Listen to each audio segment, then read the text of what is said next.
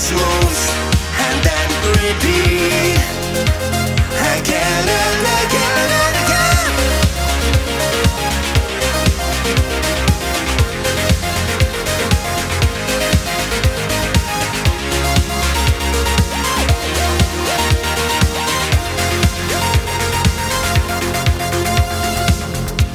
This day will be known as the Big Bang. This galaxy will be blown about